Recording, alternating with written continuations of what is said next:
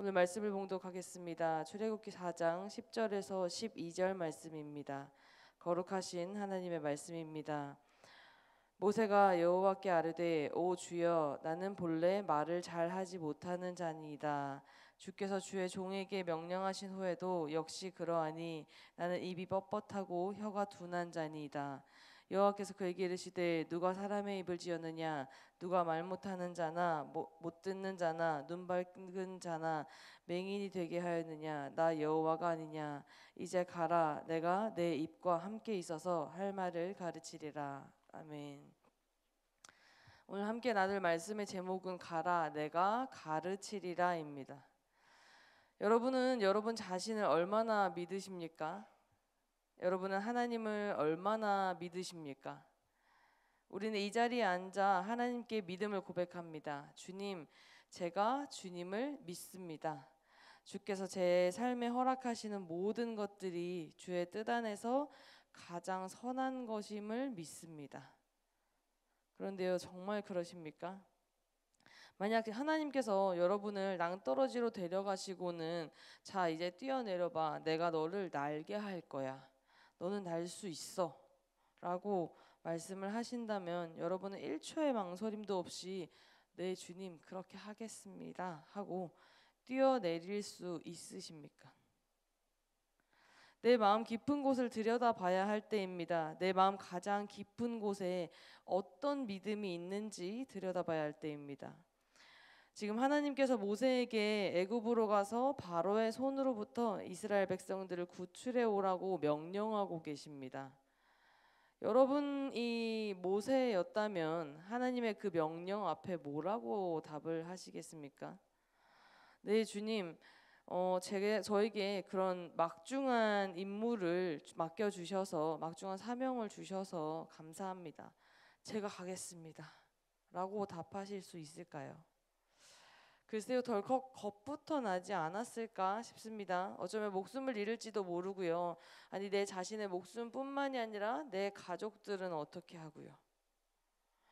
아 주님 저는 못하겠습니다. 왜 저죠? 왜 하필 저일까요? 저 말고도 사용하실 수 있는 사람들이 많잖아요. 왜 하필 접니까? 모세는 말합니다. 주님 저는 말을 잘할 줄 모릅니다. 전에도 그랬지만 주님께서 저에게 말씀하시는 지금도 저는 말을 잘할 줄 모릅니다. 저는 말을 느리게 할 뿐만 아니라 훌륭하게 말하는 법도 모릅니다. 성경으로 글로써 이 장면을 보고 있는 우리는 의아할 수 있습니다.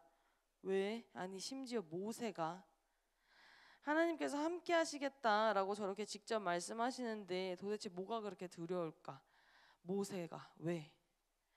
그런데 저 장면 속에 모세가 나라고 생각을 하면은 어떨까요? 갑자기 확 이해가 되죠. 그래, 그럴 수 있지. 왜 안 무섭겠어? 딸린 가족들은 어떻게 하고?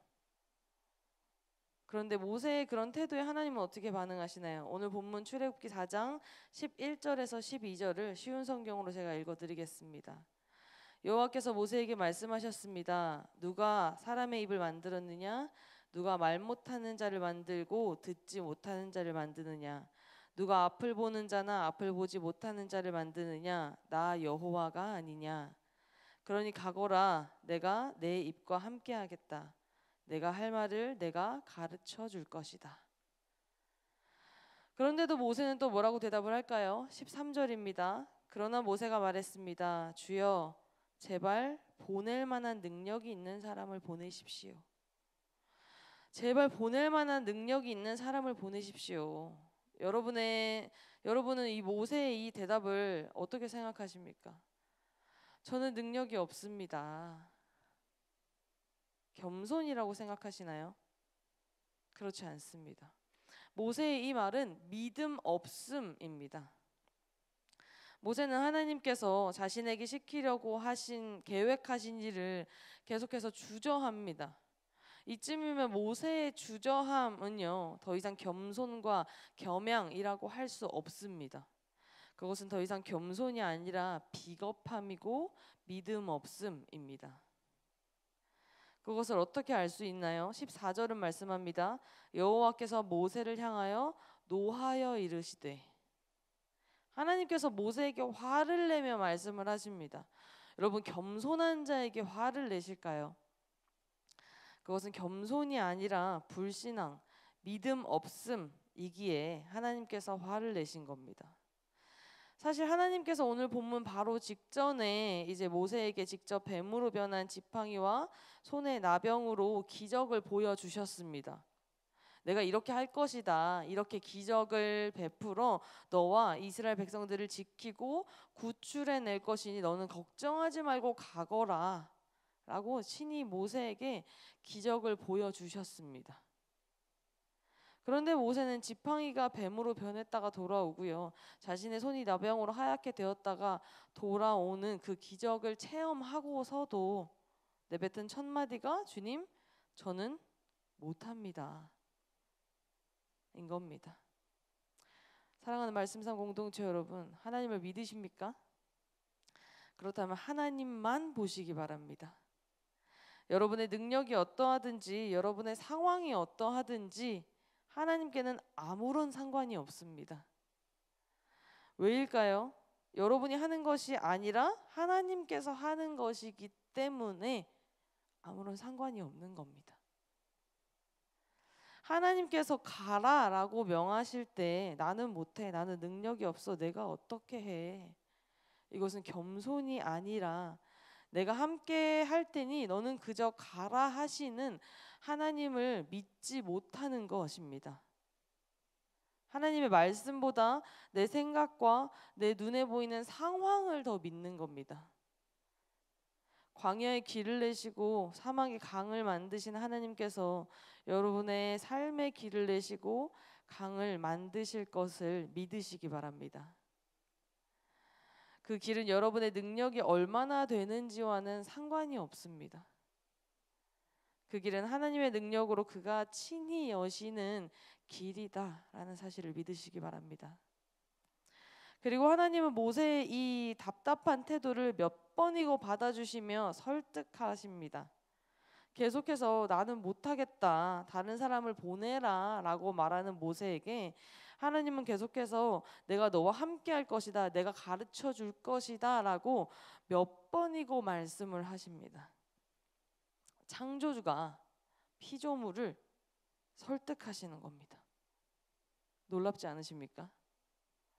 우리 하나님은 그런 분이십니다.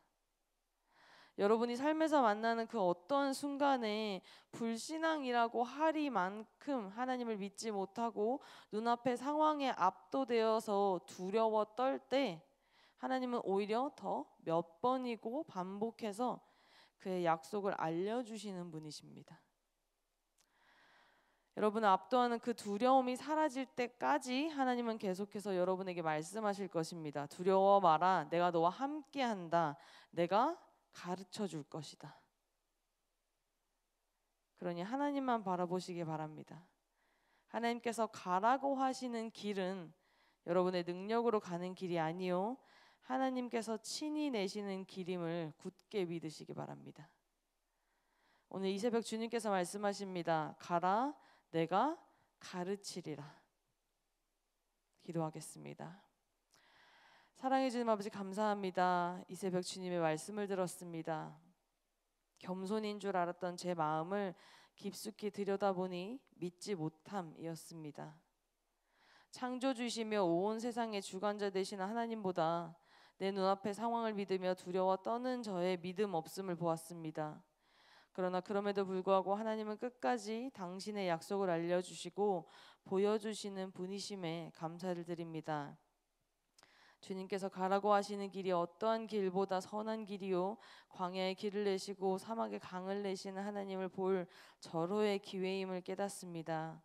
오늘도 오직 하나님만을 신뢰하며 모든 순간을 걷게 하여 주시옵소서. 우리 예배를 받으시니 감사합니다. 이 모든 말씀 예수 그리스도 이름으로 기도드립니다.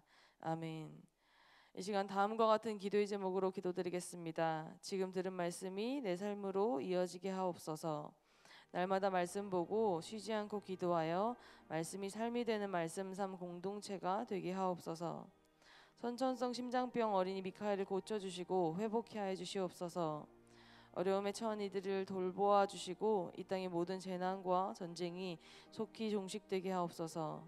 추례의 광선을 바라사 환우들에게 치유와 회복의 은혜가 있게 하옵소서. 다음 세대들의 믿음이 주 안에 깊게 뿌리내리게 하시고 세상의 빛과 소금이 되게 하옵소서. 개인의 기도 제목과 공동의 기도 제목으로 다 같이 기도하시다가 삶의 자리로 나아가시겠습니다.